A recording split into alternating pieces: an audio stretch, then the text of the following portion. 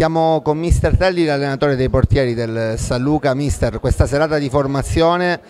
eh, dedicata sia alla squadra che alla dirigenza. Allora ti chiedo, gli strumenti acquisiti fino a questo momento come possono servire per la tua di squadra, cioè la squadra tecnica, tu, il mister, il preparatore, ehm, cosa vi può tornare utile in questo ragionamento? Ah, sicuramente tanto, perché ti fa capire che in primis dobbiamo essere noi a trasmettere ai ragazzi quelli che sono gli obiettivi eh, del campo, ma io dico sempre che noi come staff siamo anche dei genitori verso questi ragazzi e deve essere un insegnamento di vita dentro e fuori dal campo. Poi ognuno di loro sicuramente avrà gli obiettivi suoi, i mezzi suoi, c'è chi, chi di più, chi di meno, però l'intento poi deve essere il gruppo per un unico obiettivo, quello che è arrivare arrivare ad avere risultati ehm, non buoni, io dico sempre ottimi o eccellenti perché se parti da queste situazioni puoi ottenere qualcosa, perché risultati così, dice vado al campo per allenarmi quanto per, non serve a niente, né a noi e né ai ragazzi, allora bisogna, bisogna dare sempre il massimo, io dico sempre che nella vita non è il difficile arrivare, è il mantenere, è il mantenere per tenere gli obiettivi altri da parte dello staff ai ragazzi e trasmettere un po' al mondo del calcio intero.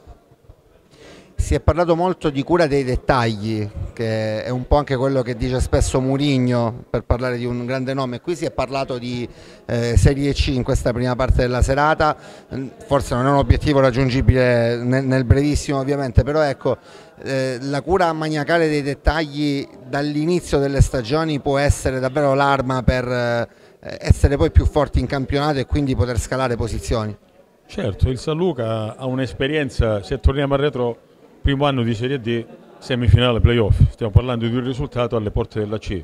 Eh, si era fatto un lavoro certosino, eh, c'erano staffi tecnici importanti, no? che in questo di oggi è meno, però c'era, la qualità del sacrificio dei calciatori dentro e fuori dal campo e i risultati si sono visti. Eh, Quest'anno è una situazione un po' così, si sta costruendo, eh, e bisogna trasmettere quelli che sono stati i valori del primo anno di Serie D del San Luca, io dico, io dico sempre questo.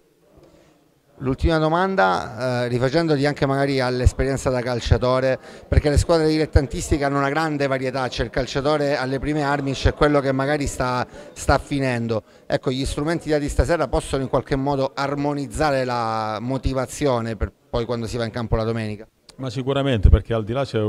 se c'è il calciatore over o il calciatore under, l'obiettivo domenicale, il risultato è quello. Non esiste che un calciatore dice over, finisco di giocare. Forse gli over devono dare più degli under perché devono trasmettere in campo quelli che loro sono stati e quelli che sono in quell'attimo che magari un ragazzo under ancora deve acquisire per arrivare a degli obiettivi importanti. Io dico che ha una valenza di pari merito, però uno deve essere bravo a capire quando deve aiutare e, e che l'over deve dare sempre il massimo, dico più dei ragazzi, perché se il ragazzo vede che l'over dà il massimo, il ragazzo si comporta medesima, medesimo comportamento.